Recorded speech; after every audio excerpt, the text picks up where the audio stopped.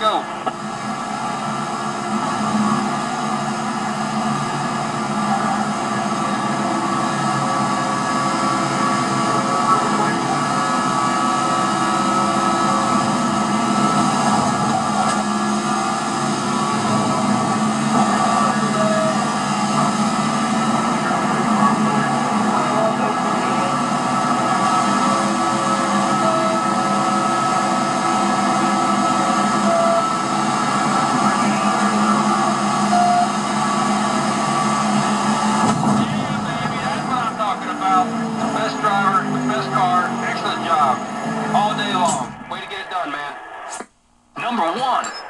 That was a great drive and an awesome performance.